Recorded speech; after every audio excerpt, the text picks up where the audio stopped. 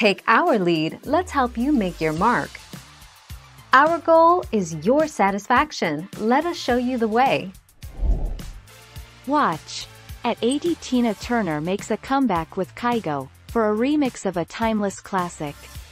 After hitting the airwaves with Higher Love, featuring Whitney Houston, Kygo has launched his latest collaboration, with one of music's legends, Tina Turner, as he remixed one of her best-known hits, What's Love Got to Do With It?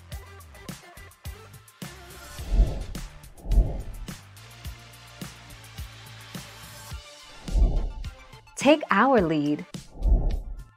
She has surely made a lot over the years. The beloved songstress has accrued a seriously impressive net worth over her decades in the music industry.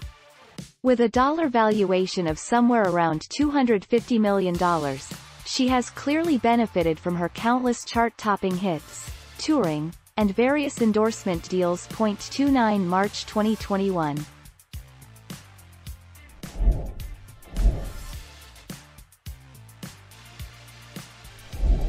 Let's help you make your mark.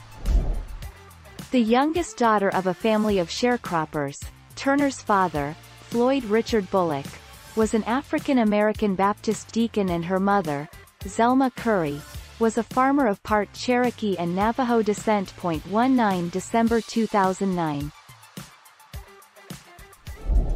Thank you for watching. Please subscribe and hit the bell notification.